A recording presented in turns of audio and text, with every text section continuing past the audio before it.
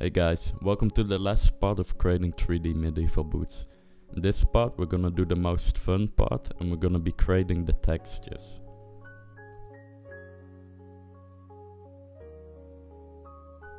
To start off any kind of texture, we're gonna make a folder and we're gonna put a base fill layer in it. And in this fill layer, we're just gonna set the base values of our textures.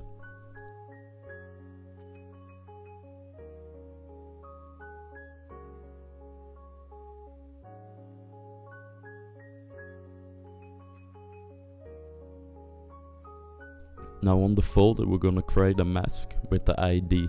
We're just gonna select the colors where we want the folder to apply. So as this is the letter folder, I'm just gonna select all the letter parts. You can tweak with the sliders to get a good mask.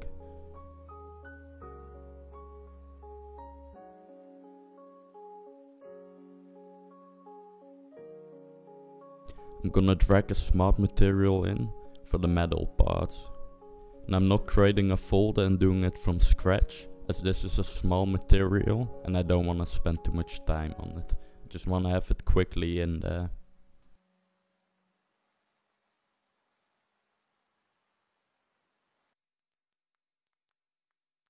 Now on the mask I'm just gonna select all the objects that I want the mask to be applied to.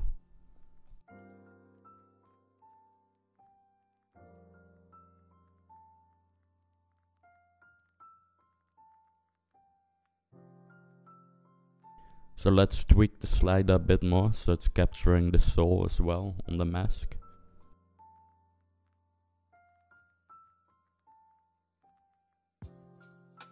So now I'm just spinning around my model, checking if I like the base.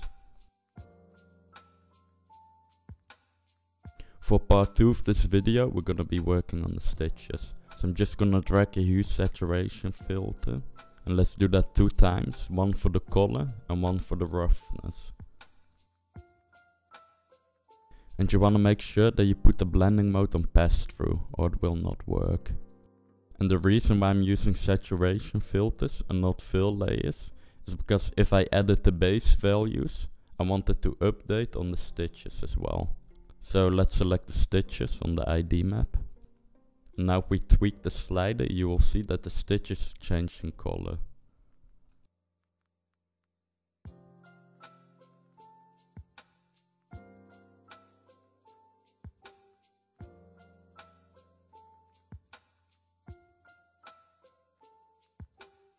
And let's do the same for roughness.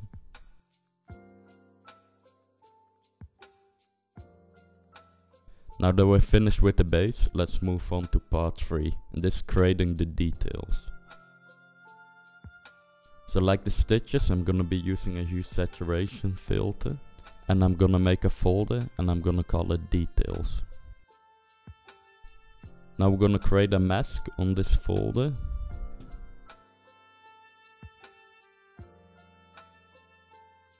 And in this mask we're gonna put the details. So I'm gonna put a tiling ladder alpha in the slot.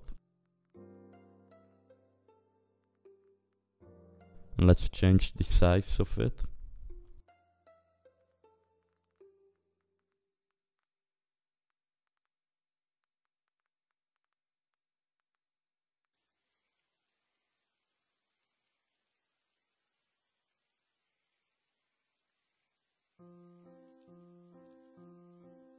Again, we have two hue saturation filters, color and roughness.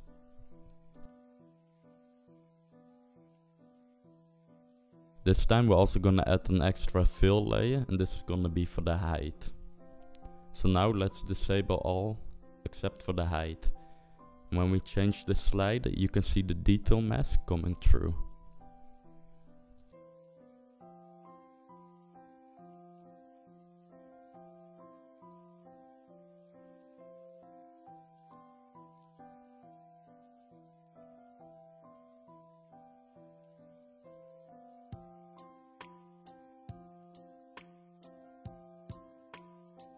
And of course we can also edit this mask. So we can add the levels then we can play with it.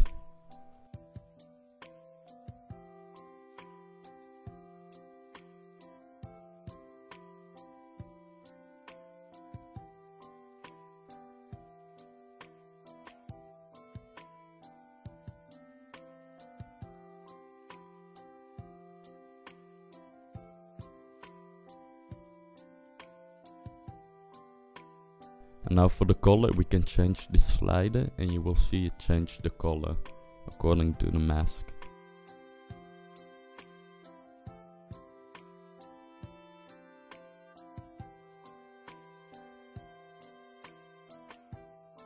So just play with it until you get something that you like.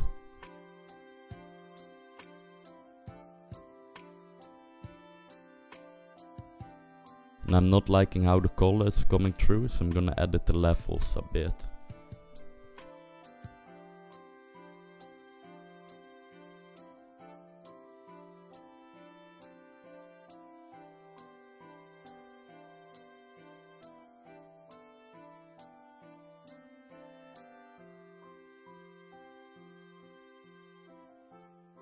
But that's also not working for me. I still don't like it.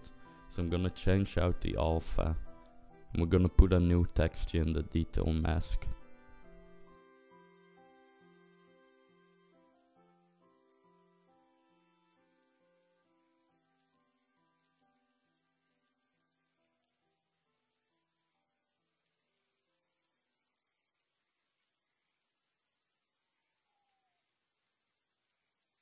And as you can see, now the color is working a lot better.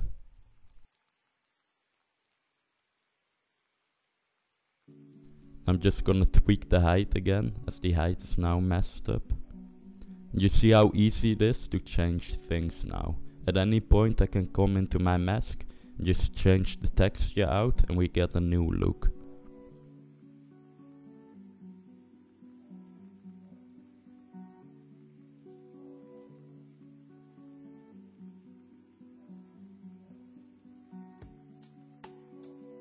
So like we did with the color, we're doing the same with the roughness. We're just adding some breakup.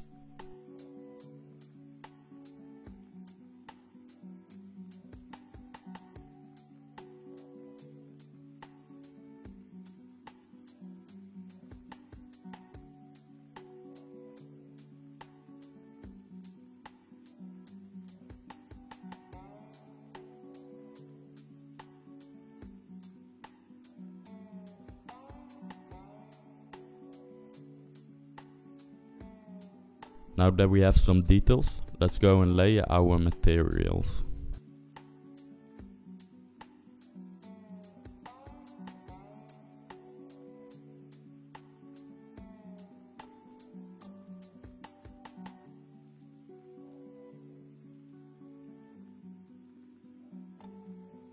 So now that we put everything in a folder called ladder top, we're gonna make a new fill layer. This is gonna be the material underneath the ladder.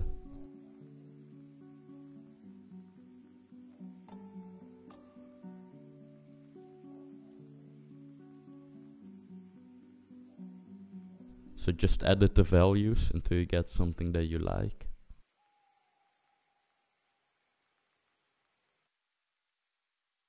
Now on ladder top we're gonna make a mask and we're gonna select where the material should be applied. Now you can see we're starting to get a nice leather material where we have a nice shiny leather on top and a rough leather underneath.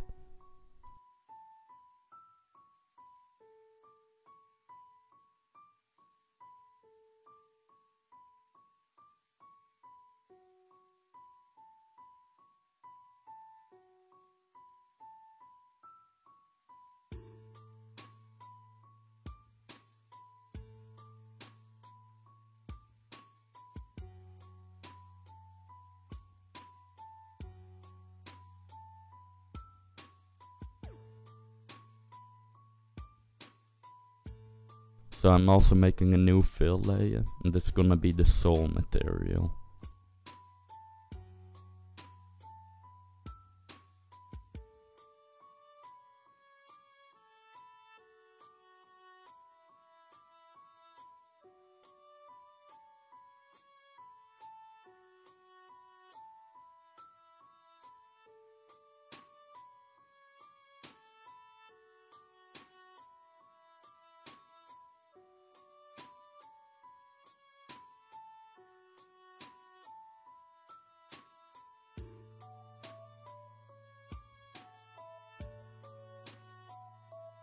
Now that we have a nice layered ladder material, we're gonna add some color variation to the leather. And you always want to add color variation to any material that you make. This is something that will push it to be more realistic.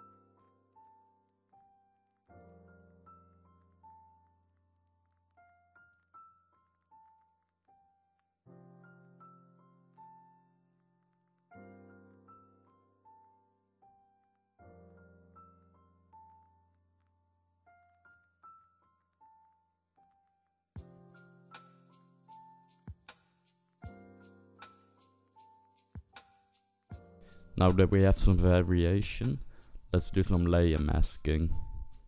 And the idea is that we push the surface from being like perfectly clean to having some wear and tear. So we want to make an extra folder where we put the folder in. This just so we can have multiple masks.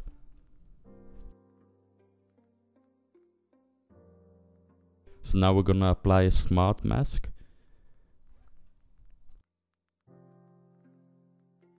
let's go ahead and hit the invert. Now you can see that we have some wear and tear. Where the underneath leather material is popping through some damage.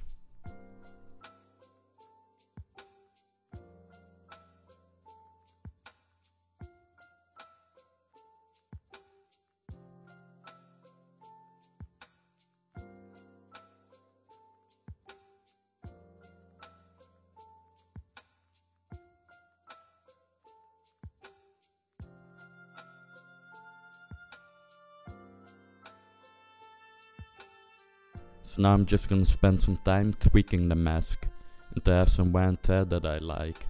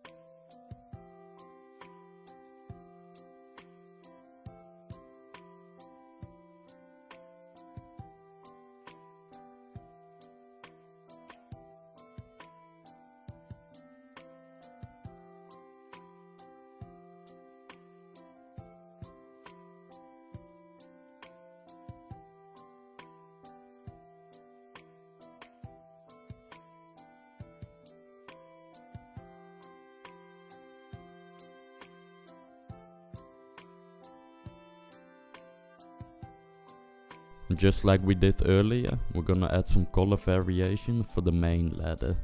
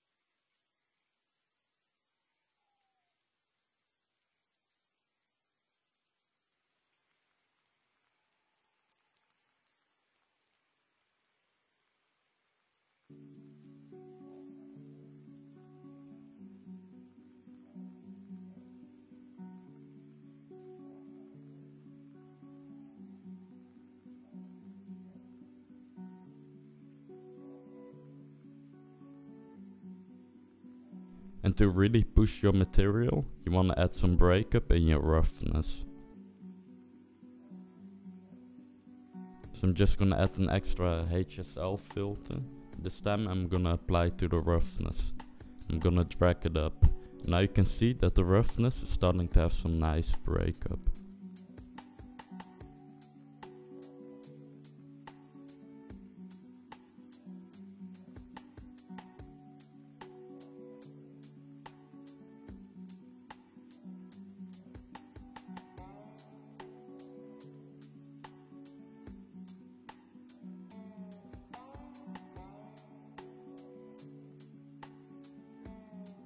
And as one of the final touches to textures, I like to put my curvature on a layer and put the blending mode on overlay. And is just gonna add a lot of depth to your textures.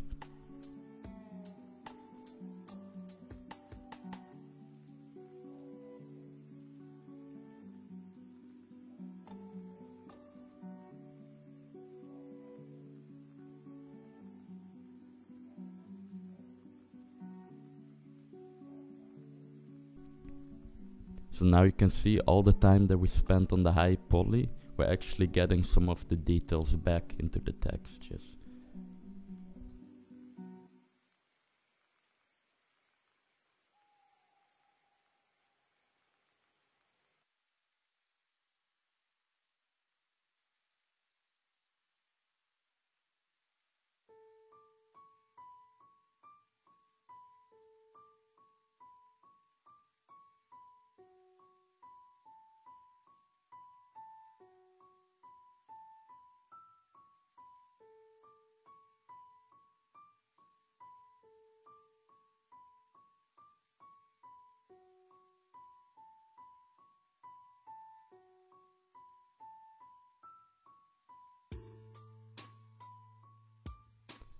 And sometimes it's good to invert the roughness.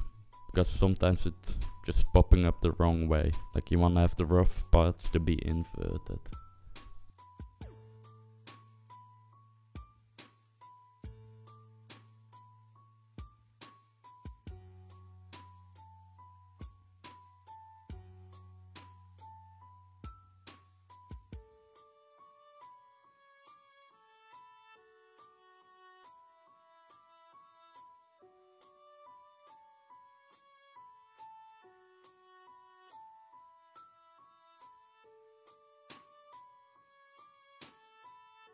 And as one of the last steps, we're gonna create a folder on top of all our materials. And here we're just gonna add some wear. So this can be anything that you think of. We can add some blood, we can add some mud, some sand, just whatever pops up in your mind. We can create some fill layers to create some dirt.